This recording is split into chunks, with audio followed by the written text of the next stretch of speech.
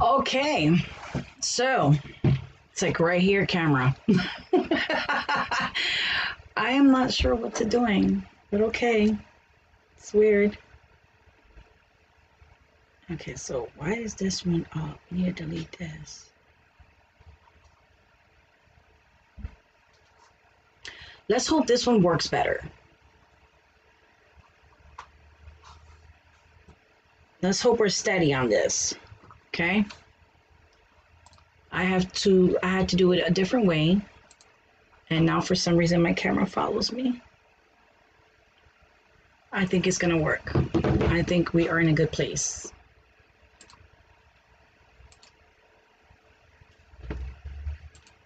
Oh, come on. I don't know what's wrong.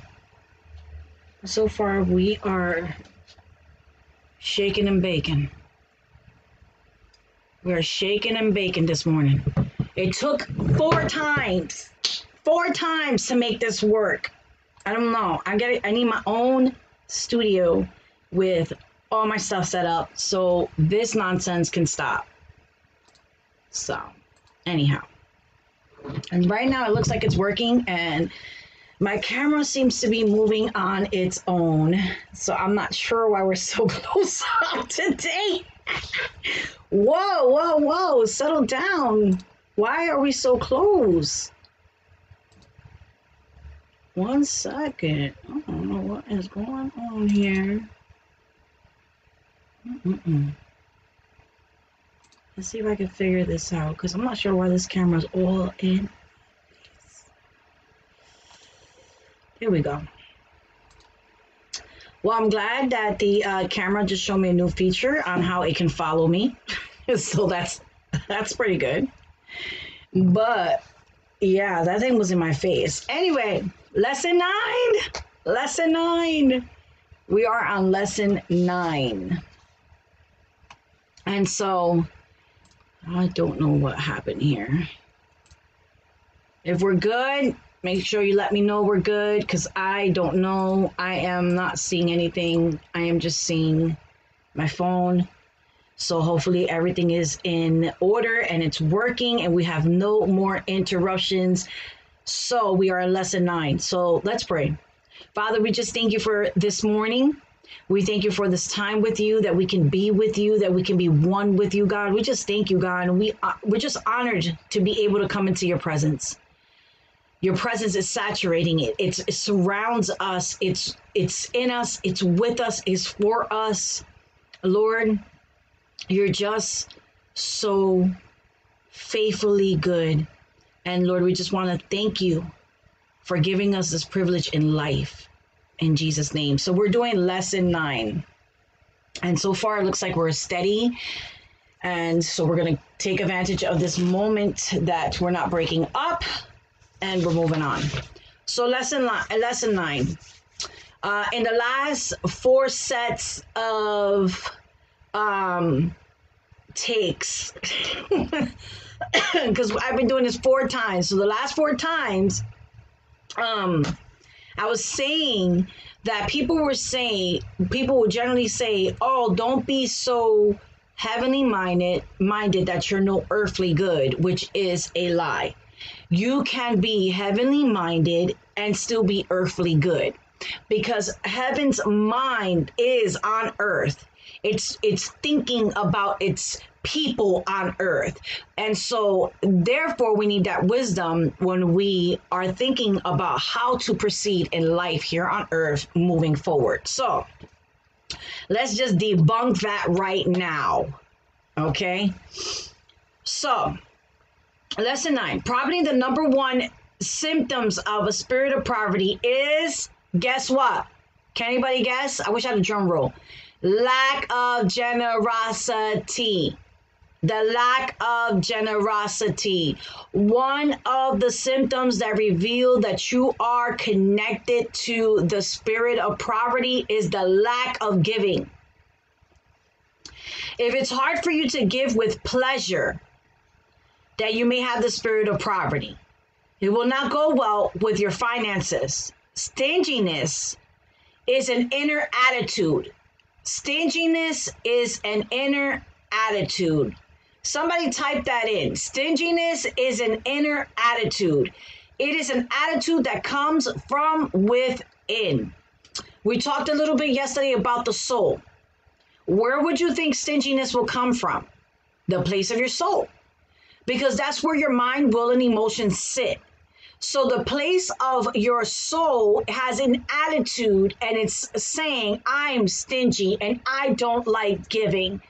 And so when I begin to want to give, it's coming out of a place of stinginess and not a place of I love giving. I love blessing people. I love giving gifts. I like seeing people's faces when when I surprise them with something. So that's just me. Like I always like going to places and and I'll see something and I'll think of someone. And I'll say, "Oh, this person would love this." Like I went to um down here, I feel like my hat's crooked. I went down here. We have a place called um Ross. And I saw this amazing idea for like a gift. And I was thinking, oh, you know, they're planning to have a church, um, you know, Secret Santa. And I thought not about buying one, but I thought about buying all three because I want to bless three people.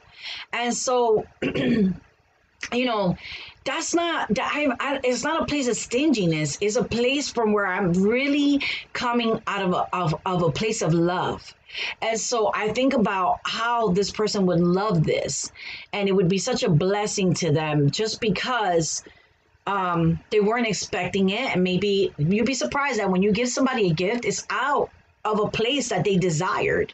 And the Lord knew their desire, and He calls forth someone else to bring forth this desire for this person to be fulfilled.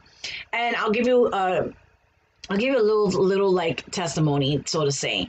So one day, I went to um, Walmart. I don't know if the camera is the hat, but it's annoying me. I went to Walmart and I wanted to get one of those water bottles where you can put the fruit things in it. And now I went to Walmart and I'm saying to myself, um, I want to get this little bottle with the fruit in it because that's like one of my things, like water with the fruit. And I went there and it was like it was like fifteen dollars.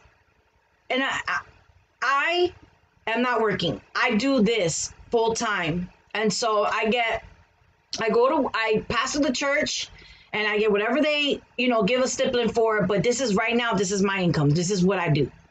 And so I at that moment was like and this is before like we were in a, in a situation and I was like, uh uh I don't think that's a good idea.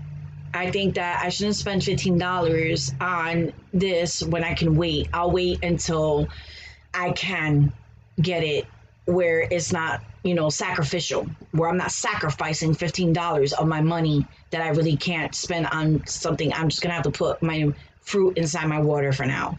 And so the Lord heard, and I was there by myself, and I was like, you know, and I wanted the pretty one. Like, I wanted the, you know, I'm, I'm, I like colors, I like designs, and so I wanted the, the beautiful one. And so the next day, we were staying at one of our uh, pastor that we know in their home, and she says to me, "Oh, tomorrow we have one of those." Um, one of those rallies and you know we just walk around and that's what they were going to do our job. She works for the city and i was like oh that's cool.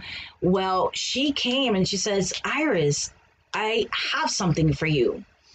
And i'm like really? She was like yeah i don't know why but i i they gave me this and i knew it was for you and I'm like, oh, I'm like, ooh, like what, what, what is it? You know, because I, I like surprises, and so um, I go and she hands me this cup that puts the fruit thing in it, and it was something that they were giving out in the city, and I'm just like, now it wasn't the, it wasn't the pattern it, that I wanted. It wasn't like the extravagant look, but when she gave it to me, I was like, wow, like Really, God, like you know my little tiniest desire and you fulfill it.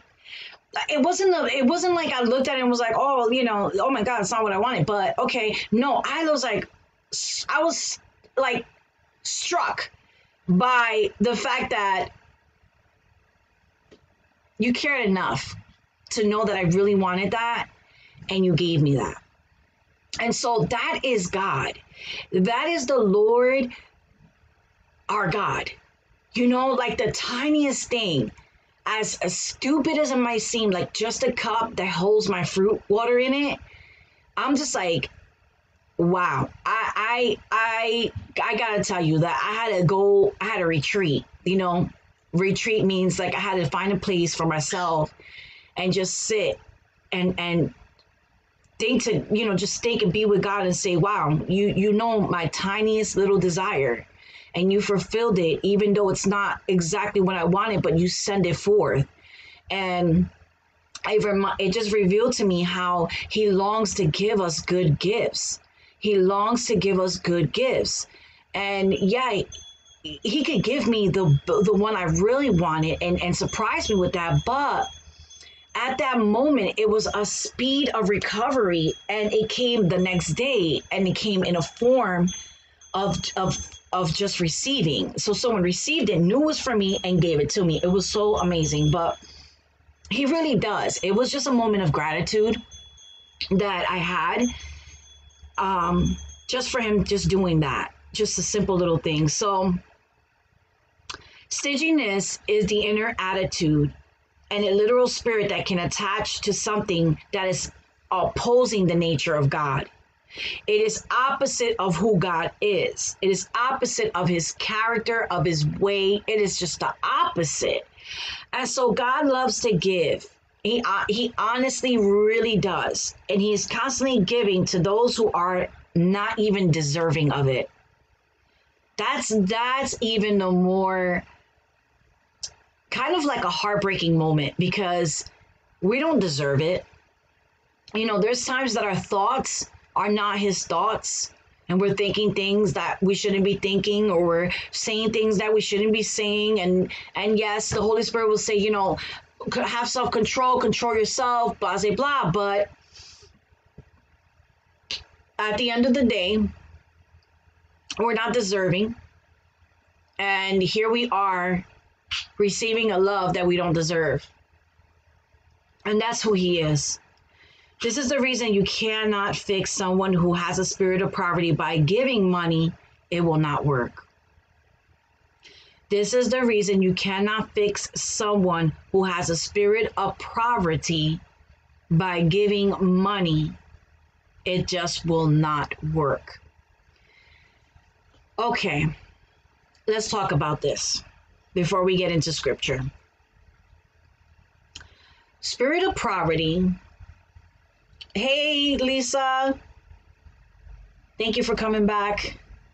Um, the spirit of poverty will leave someone broke all the time. It will leave someone uh, in devastation and lack, not knowing where their money is going. Every time they put their money in their pocket, is gone it comes to devour. Then what happens is they need. So the people around them begin to give because they're givers and they're not stingy and they give. But it doesn't matter how much you give, this person can never come out of it until they have broken the curse of the poverty. Okay? And that's a mindset thing.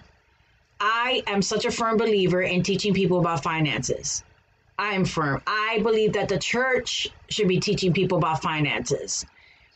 Unless you were born in a house that their family, your family was like to the T about finances, you know, accounting like they they've had spreadsheets about what they they spend and always you know being wise and stewarding the money being good givers and doing all of that. Unless you were born and raised in a house like that then i i can assume that you have a hard time with your finances juggling managing trying to figure it out so teaching our people about finances and how to stay out of the enslavement of debt.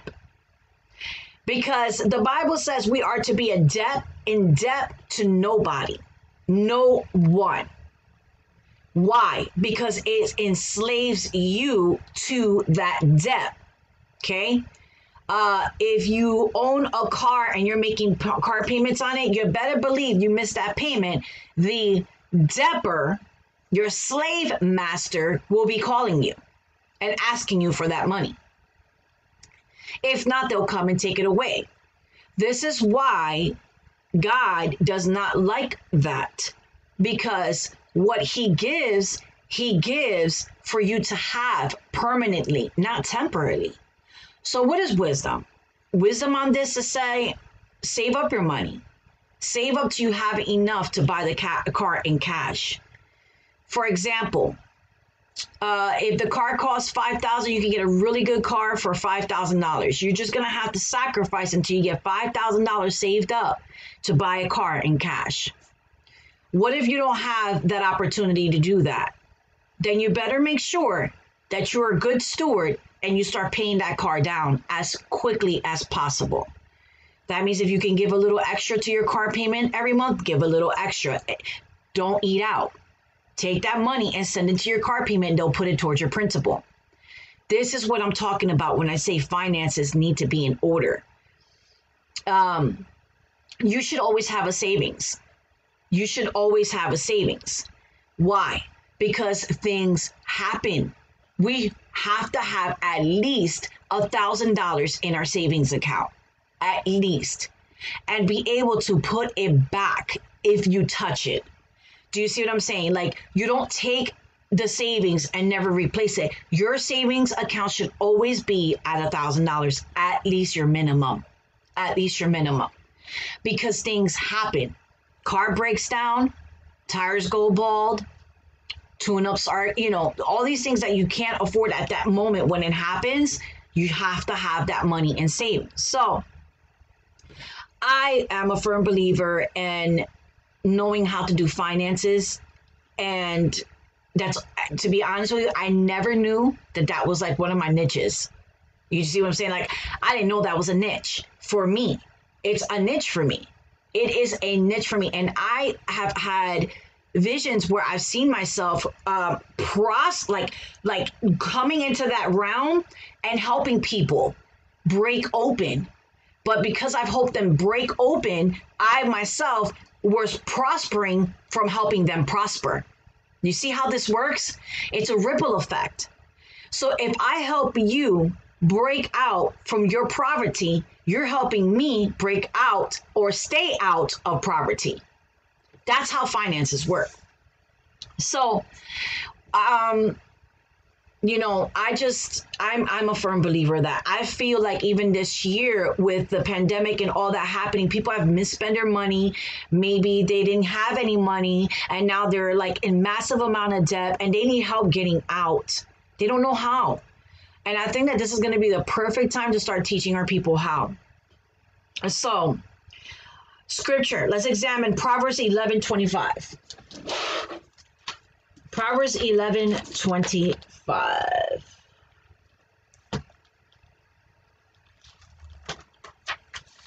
Proverbs 11 25 says,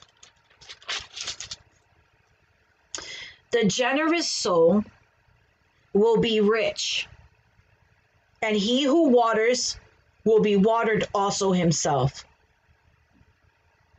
Let's go up to number four because they seem 24 and 25 are connected. There is one who scatters and yet increases. There is one who withholds more than is right, but it leads to poverty. Do you hear? That's the stingy part right there. There is one who says, here's a little bit for everyone.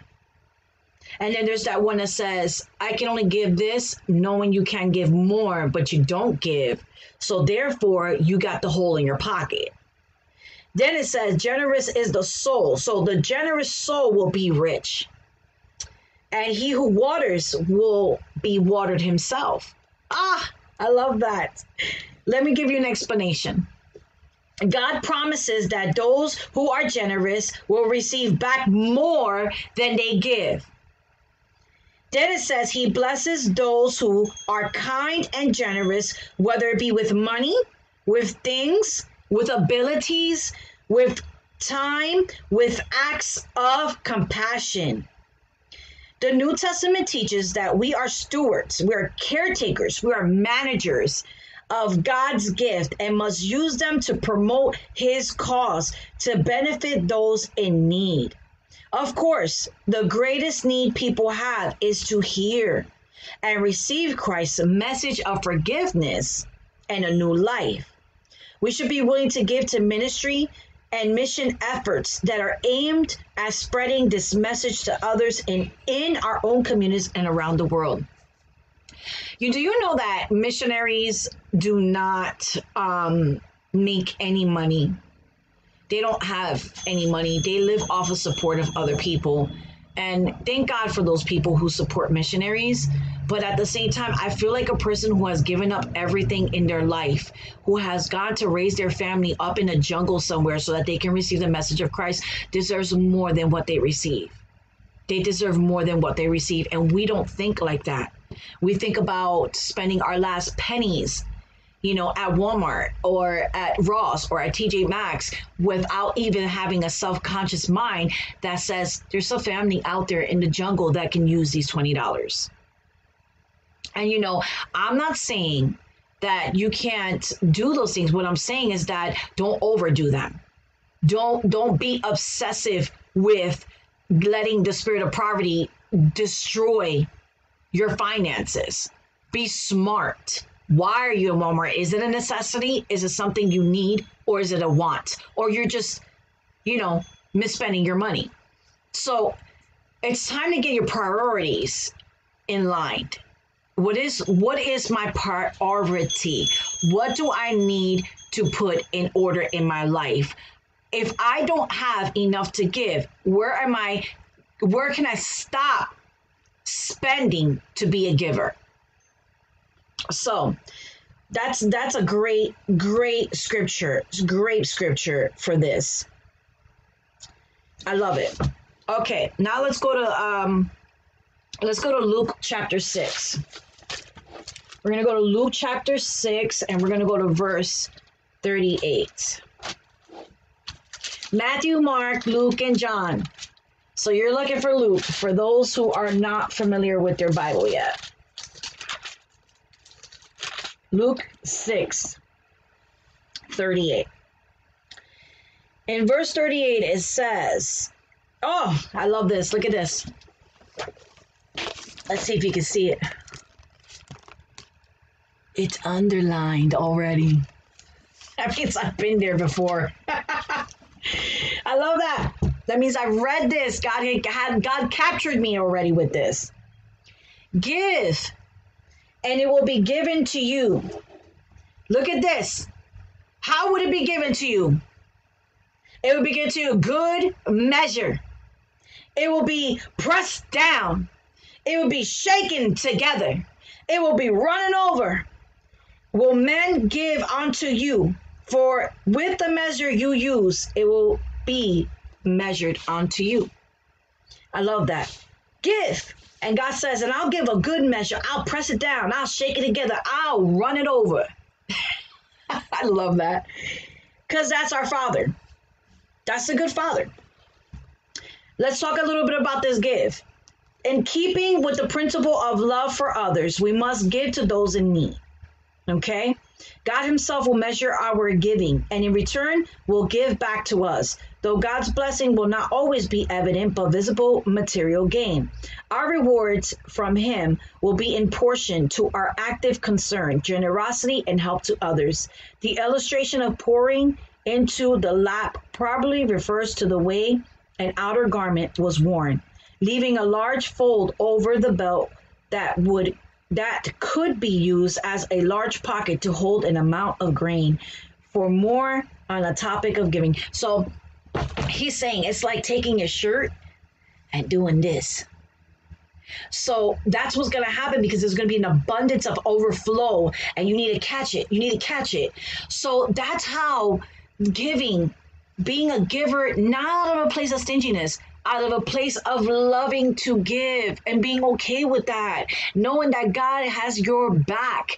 And if you're doing it out of a place like that, then you're going to be overflowing, catching the blessings of God so that you can bless and continue to be a blesser. So let's go to Second Corinthians chapter 9.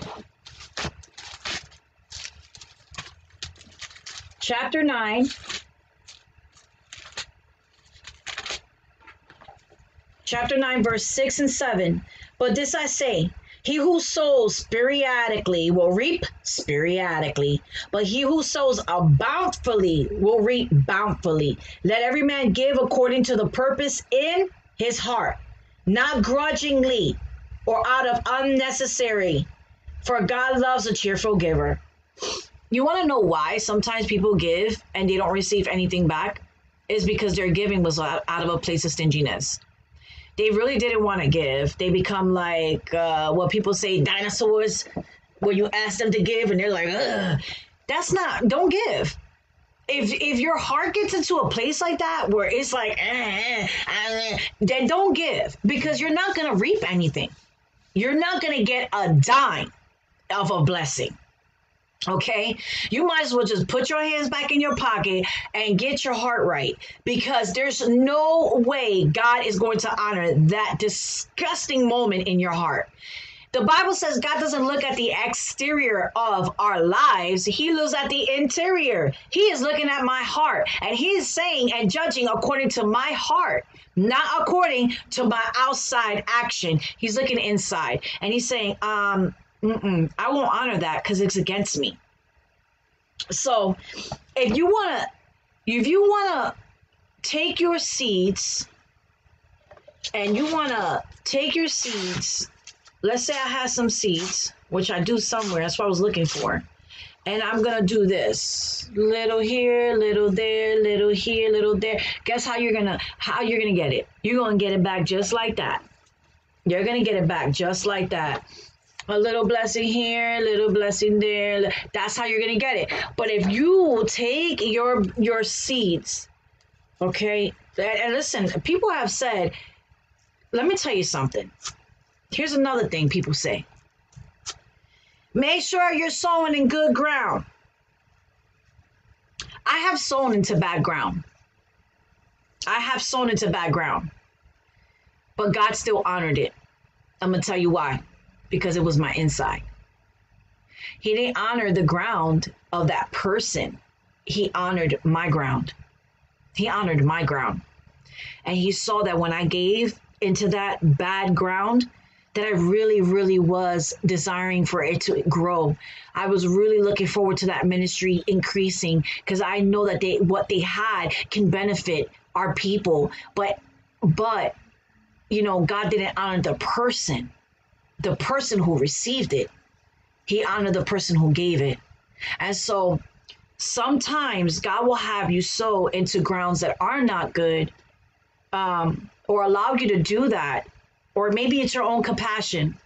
But whatever it is, and however way you did it, God still honors it because He honors the place of your heart. He does not honor, He does not honor the place of stinginess.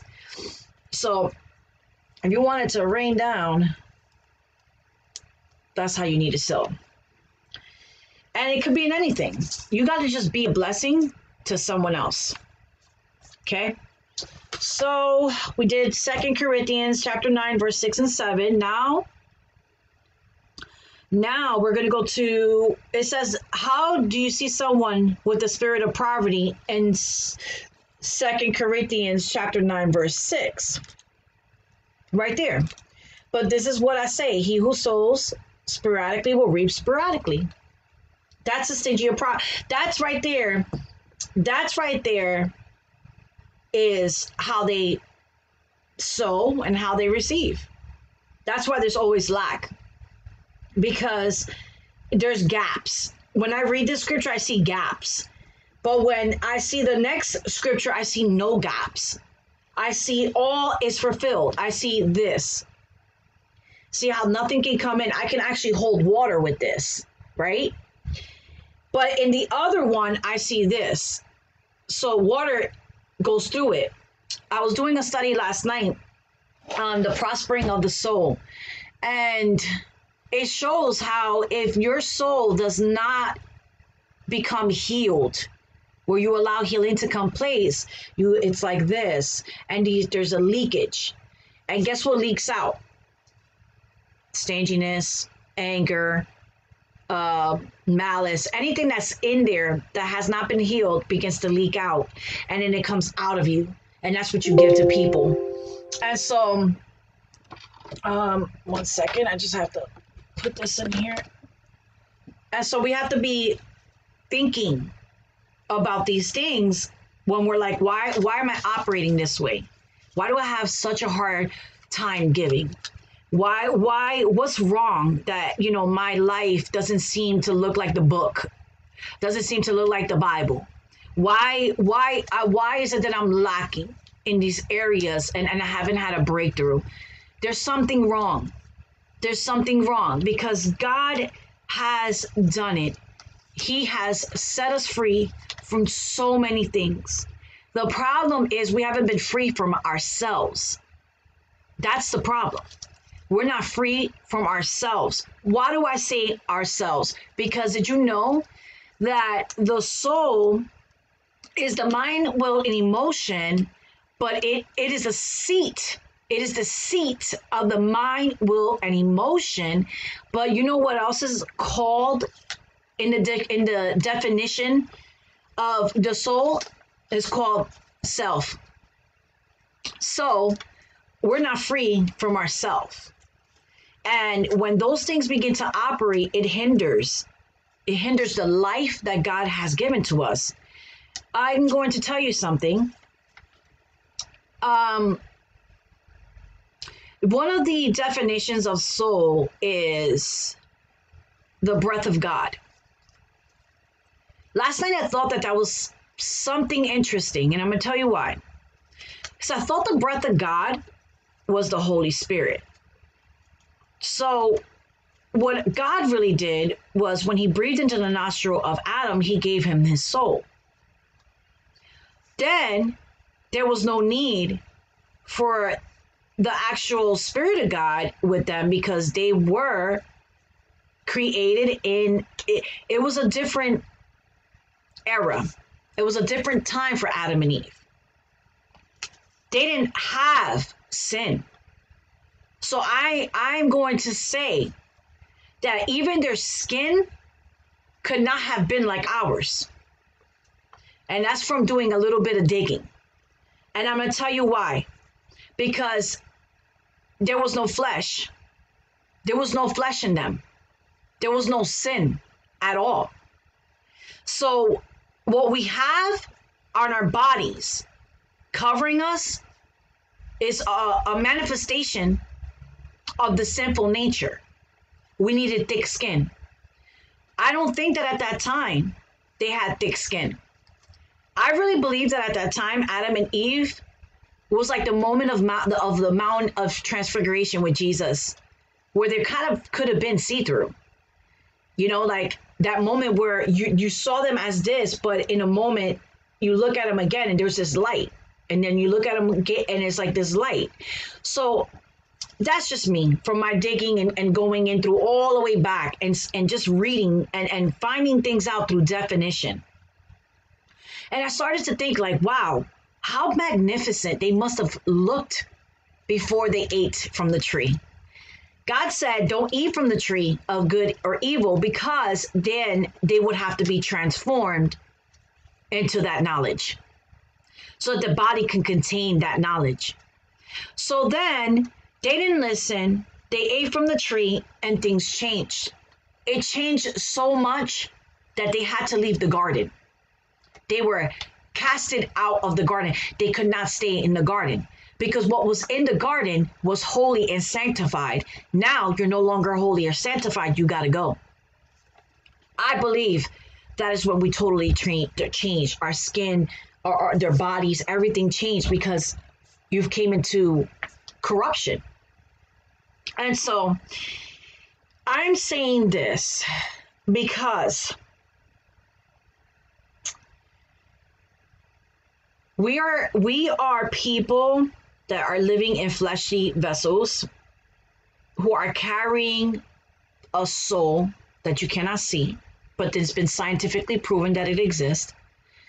You're carrying a spirit in you, which is the Spirit of God. For those who have accepted Christ, there is an inner man as well, and the inner man becomes new because of the Holy Spirit.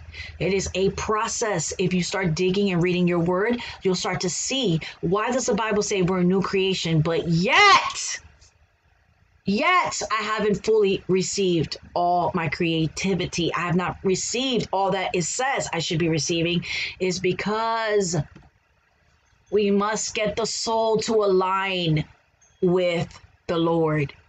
We must get our soul healed. And that that's gonna take, guess what, guys? A changing of your mind. You know, repentance says that it's repentance is changing your mind about something that was incorrect, that was not of of God thinking. It says that changing repentance is to change from the wicked way, to change from the wicked way. How do you know something's wicked if it's it's part of your lifestyle and no one's never said it was wrong? So you just continue to do it. And then you realize that what you're doing is not working. Did you ever thought to think that maybe what you're doing is against god and the reason why it does not prosper is because of that? I don't know. But what i do know is to break the spirit of poverty you must break your mindset. You must go against what you're thinking already. You have to align your thoughts to the word of god so that it will prosper. So today, when you come into the place of prayer, I want you to come to Father's throne this morning and I want you to align your heart with his heart in your desire to express his generosity to others. Okay? Get my pen out. Get my pen out. So we're going to do number one. We are going to come into his presence and we're going to align our heart with his heart. And how do you do that? Simple. Ask the Lord, Father, I need to align my heart with your heart so that I can express your generosity. Number two, praise him for causing his generosity to flow through you. So, guess what? You just went in. This pen is not working. You just went in Oh, this works. You just went in and you asked him for something. And the Bible says when you pray, you pray like it's already done. So you just went in and you asked him for something. Now you're going to praise him for receiving it as if it's already done. As if it's already done. So the second thing you're going to do is you're going to praise him. Thank him for giving the gener- his generosity to flow through you. Then freely receive from his bounty, freely receive from him this morning so that you may freely give. Guess what you're going to do? Third thing, you're going to use his promises and the faith he gave you to draw upon his riches for all your needs. Pray for the prosperity. Prosperity, this number four. Pray for the prosperity for your local church. If you don't have a local church, pray anyway. Pray for churches in general because right now the churches are suffering from people's stinginess. And you ain't gonna tell me half of all these people, they got blessed. They got blessed big time. Even those that don't, I mean, I'm telling you, even those that didn't even need to get blessed got blessed. You're not gonna tell me all that money that they were blessed with and the church is dying. That don't make any sense. You know why? Because they're operating in an opposite spirit that is not of God. And they did whatever they wanted to do with that money. And one of the things they did not want to do was give to the church. So we got four things. You're going to come before him, spend 15 to 30 minutes with him. Just take 15 to 30 minutes, guys.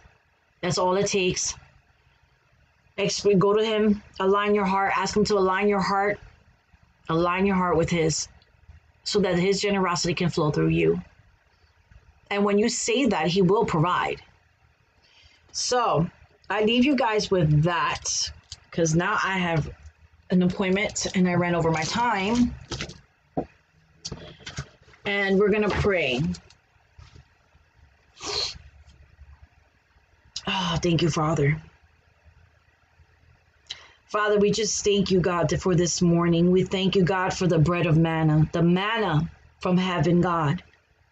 We just thank you, Lord, for your insights.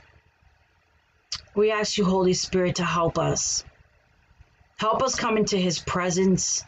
Help us to understand God's will for our life and for those around us. Take our heart and align it. Take our soul and align it with the Lord's heart, that we may be able to express God's generosity to others, express God's love to others. And Lord, we just thank you. We lift up your holy name because your generosity is going to flow through us like never before. In this season, God, we're going to break off the spirit of poverty and we're going to flow in your generosity, and people will be blessed for your name's sake, for your glory and your honor. And so, Lord God, we just thank you for your promises. We thank you for your faithfulness, that you have given us all the riches that we are in need, God, for every need, God, you have provided. And so, Lord, we just thank you. And Father, we just pray for the churches, God. We pray for our church, Lord, that you would flood the gates Flood the gates of our house. Flood it, Lord, because it is your house and it is your will, and it is your will, your bill, you will provide. And Lord, we are receiving that provision right now for the church. We're receiving that provision right now. In Jesus' name, God, we thank you for those who signs the checks, who says, I have been touched by the Father to provide for your need. We thank you, Lord. Father, it is done in Jesus' name. Amen. Well, I pray that this is helping because I'm telling you what, guys, I am truly enjoying this session. I'm learning myself in a greater measure. And um, I couldn't ask for anything more, but for just wisdom. I love wisdom. And if you don't love wisdom, you'll never find it. But I love wisdom. I am a really a wisdom seeker, and I'm so happy to have that gift from God, the wisdom from heaven. And so, guys, when you are tuning in, make sure you keep us in your prayer as we go through things as well. Right now, we have our own situations that we're going through and we're believing and trusting God for as well. So, pray for us that God's will will be done and that every door will be open that He opens. Amen. So I will see you guys again tomorrow around the same time. Thank you for tuning on. Be blessed and have a good day. It is Wednesday and you have made it through hump day. I'm not sure if that's correct to say, but if you have the right mind, I think of a camel. If you don't have the right mind and you, you get delivered. okay, bye. Love you guys.